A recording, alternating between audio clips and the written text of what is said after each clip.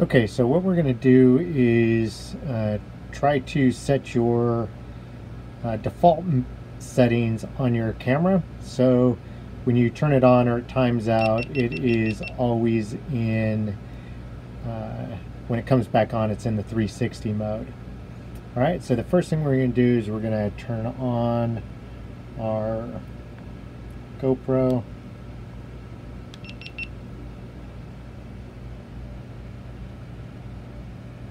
And we're going to open up the GoPro Quik app.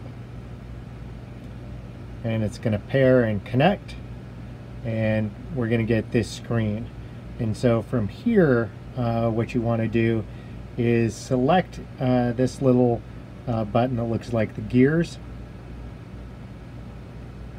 And uh, you'll notice where it says uh, quick capture quick capture default is 360 you want to set it to 360 and then in the default mode you want last 360 video. All right uh, so you have some other options so if you click that you notice you can go to uh, last used hero time lapse all those other things.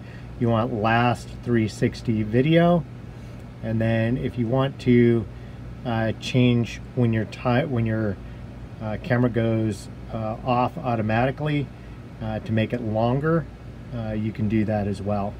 That's where you set it. And then when you're done, just click done. And then what I do is cycle everything on and off again.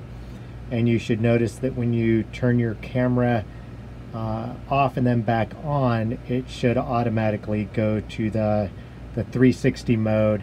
And you should have this icon uh, on your camera to in indicate that you're in 360 video. All right, hope that helps.